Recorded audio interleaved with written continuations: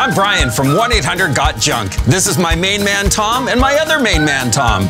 You never know how much junk you've got until you move. Point to something you wish would disappear. Would it be possible to. It's gone! All you have to do is point.